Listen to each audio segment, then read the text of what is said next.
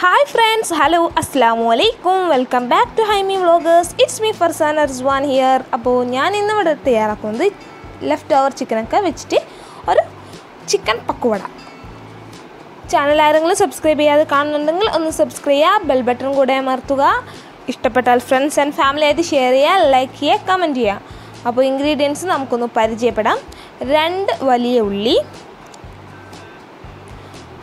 ഒരു ടീസ്പൂൺ മഞ്ഞൾപ്പൊടി മൂന്ന് പച്ചമുളക് അര കപ്പ് അരിപ്പൊടി കറിയൊക്കെ ബാക്കി വെച്ച് ലെഫ്റ്റ് ഓവറായിട്ടുള്ള ചിക്കന്റെ പീസസ് ഉണ്ടാവുമല്ലോ അതാണ് നമുക്ക് വേണ്ടിയത്. അതില്ലെങ്കിലും കുഴപ്പമില്ല.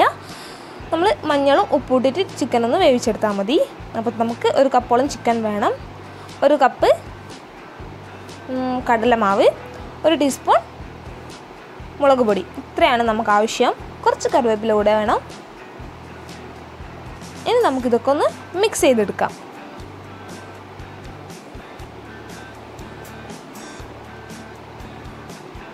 ഞാനൊരു ബൗൾ എടുത്തിട്ട് അതിലോട്ട് ഉള്ളി മാറ്റിയിട്ടുണ്ട്. പക്കവട എല്ലാവർക്കും അറിയായിരിക്കും.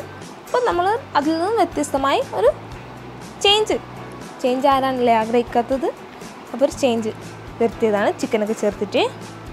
ഇതിലോട്ട് നമ്മുടെ മുളക് പൊടിയും ചിക്കനും അരിപ്പൊടിയും മുളകും മഞ്ഞൾപ്പൊടിയും കടലമാവും ചേർത്ത് നന്നായിട്ടൊന്ന് ഉപ്പും ചേർത്ത് മിക്സ് ചെയ്ത് എടുക്കണം.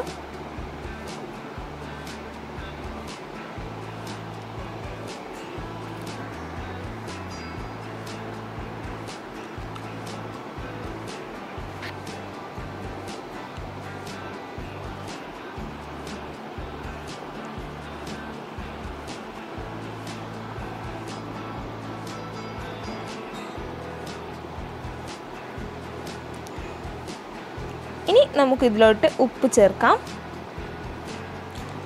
കുറച്ച് കറിവേപ്പിലയും കൂടെ ചേർത്ത് കുറേശ്ശെയായി വെള്ളം ഒഴിച്ച് ഒന്ന് മിക്സ് ചെയ്തെടുക്കണം.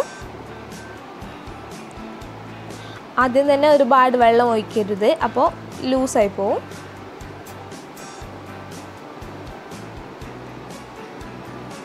കുറേശ്ശെ ഒഴിച്ചിട്ടൊന്ന് മിക്സ് ചെയ്തെടുക്കാം.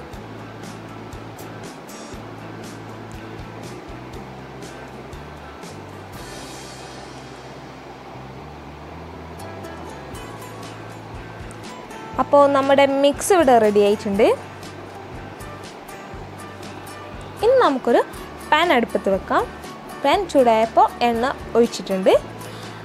എണ്ണ ചൂടായിട്ടുണ്ട്. ഇനി നമ്മുടെ പക്കവട മിക്സ് ഓരോന്നായിട്ട് ഇതുപോലെ എണ്ണയിലോട്ട് ഇട്ട് കൊടുക്കാം.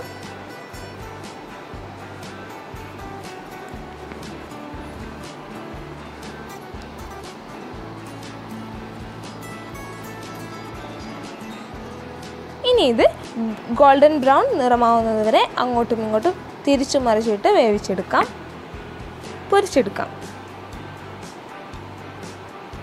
അപ്പോൾ നമ്മുടെ പക്കവട ഒരു ഗോൾഡൻ ബ്രൗൺ നിറമായിട്ടുണ്ട്. ഇനി എണ്ണയിൽ നിന്നും കോരി മാറ്റാം.